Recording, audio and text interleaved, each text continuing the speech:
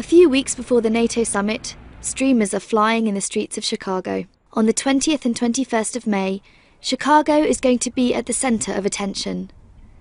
More than 60 heads of state and government will meet to discuss crucial matters of security and stability in the Euro Atlantic area. And so, the leaders of the member nations of the organisation created by the 1949 Washington Treaty will meet in the capital of Illinois this time. There was a good reason for this choice. The decision was made by the American President, Barack Obama, who wanted this event to take place in the city he grew up in. He wanted to demonstrate uh, how much the United States valued NATO, how committed we were to the future of NATO, uh, and how much it was integrated into his plans for the future of American foreign policy.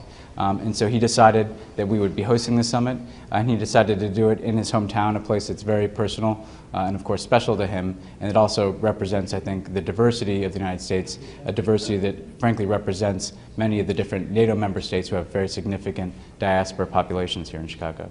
If there is one place in the United States where Europeans can feel at home, it's Chicago. Its population of over 2.6 million includes immigrants from Romania, Poland, Greece, Turkey, Portugal, and Italy, as well as other NATO nation diasporas. A melting pot which enriches the culture, the streets, and the architecture of the city.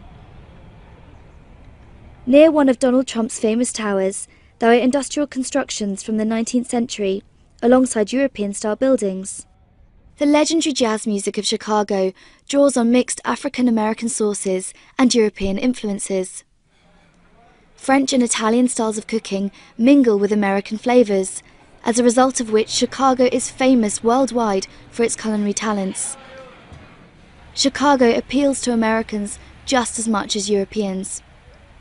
It therefore has plenty to attract and please an international public.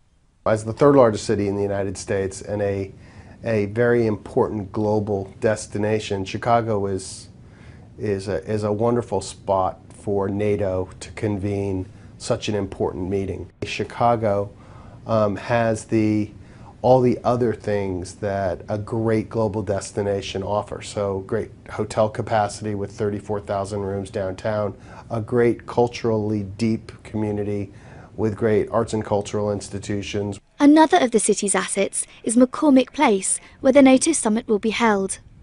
This symbolic place, created by the founder of the legendary Chicago Tribune, was built in 1960 and destroyed by fire in 1967. The McCormick Center was then rebuilt to a completely different design. Four kilometers from Chicago city center, near Lake Michigan, the McCormick Center is vast. It includes more than 250,000 metres squared of exhibition space. International conferences and meetings have been held there regularly for years, and it is well known as the largest convention centre in the United States, welcoming 3 million visitors every year.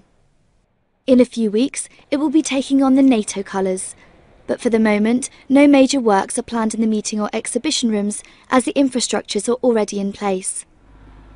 However, the streets around the buildings will be renovated and some will be repaved. The security of the surrounding area is being handled by the Secret Services and the Chicago Police, who are not disclosing any details. The McCormick Place staff will deal with the logistics during the summit. We will be serving over 19,400 meals, not just to the delegates themselves and to the staff that will be here for NATO, but also to the international press that's also assembled here to cover this event. We will have 24 hour service providing breakfast, lunch, and dinner. A financial centre with a powerful industrial sector, the city is developing from year to year. The host committee is planning numerous culinary, sport, and cultural events to show visitors the diversity of the city during the NATO summit. They expect long term financial effects.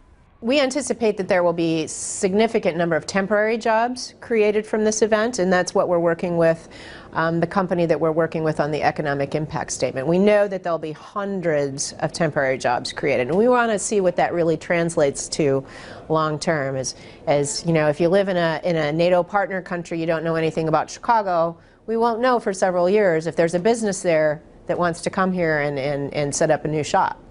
Al Capone made the city notorious, but today it is clear that the gangster's days are over, and Chicago is rich in resources, thanks in particular to the transatlantic links. On the 20th and 21st of May, the Windy City, as it is known, will have the wind in its sails. This is a NATO Channel report.